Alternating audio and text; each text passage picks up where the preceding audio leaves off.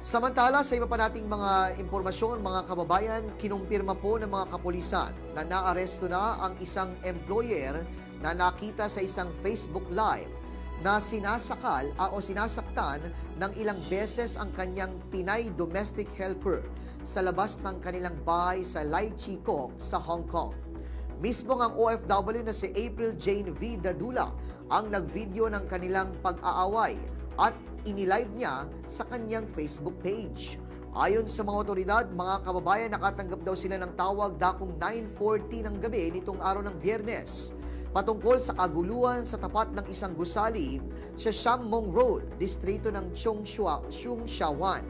Inaresto daw nila ang isang 46 na taong gulang na babae dahil nakita nila sa video na sinasaktan nito ang 26 na taong gulang na Pinay OFW dahil nagalit, ng, ng, nagalit daw ito nang binivideo siya nito. Dinala nila ang amo sa presinto at patuloy na iniimbestigahan sa kasong common assault, samantalang ang biktima ay dinala kaagad sa ospital. Sa kanyang live video, makikita po mga kababayan na ilang beses na nananawagan si Dadula sa mga manonood dito na tumawag ng pulis. Pero ang kanyang paghingi ng tulong ay diniretsa kay Pangulong Bongbong Marcos at Senator Rafi Dulfo na pinuno ng Committee on Overseas Workers Affairs sa Senado.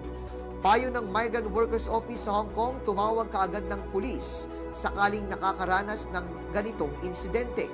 Agad namang nagpadala ng mensahe sa Facebook kay, Dad, kay Dadula pero hindi daw sumasagot ang OFW.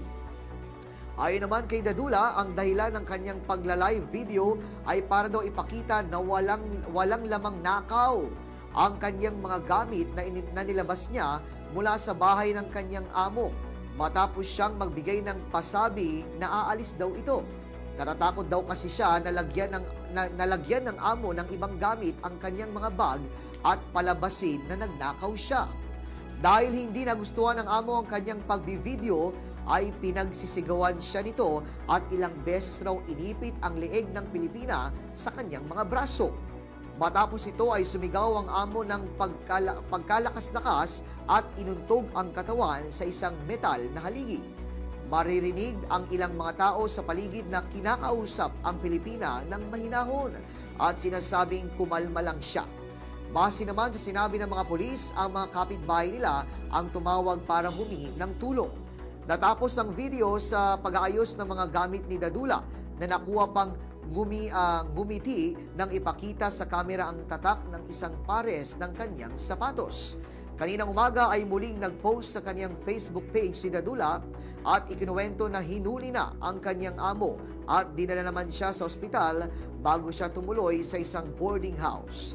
Sa isang hiwalay na post ay nagpasalamat naman siya sa mga nagpaabot sa kanya ng tulong pinansyal. Inilagay din niya ang kanyang uh, uh, Alipay QR code para sa iba pang gustong tumulong sa ating kababayan.